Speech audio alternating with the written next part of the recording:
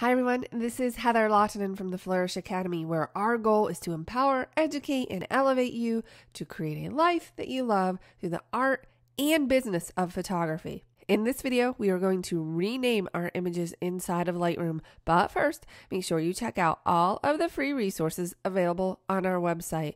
When I am delivering images to clients, I do not like for the images to be some obscure file name or for the images to have gaps in between the numbers. I just want to keep these file names nice and neat for the client. So when I have finished processing a session, I will press Command A, that's Control A on the PC, in order to select all of the images.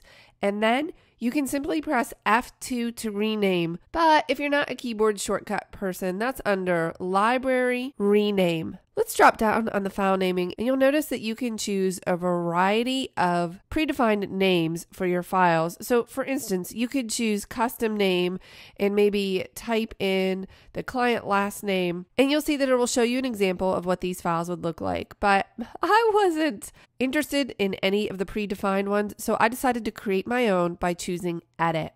I came into Edit and I pressed Delete or Backspace on my keyboard to clear the box. And then I choose Sequence 001 and then Insert. Now, the reason I choose this is because I can't imagine ever delivering more than 999 photos for any type of session. Typically, for a portrait session, I'm delivering 30 to 40, and for a wedding, I'm delivering around 5 to 600. Therefore, 001 works for me. Now, before I say done, I am going to save this as a new preset and just name it sequence 001 so I know what it is and say done.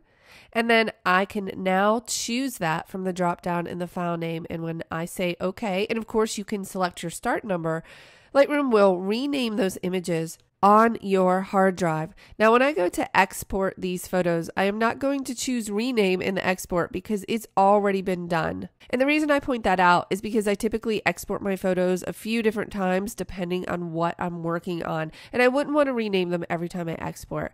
I hope that you found this useful. I'll see you in the next video.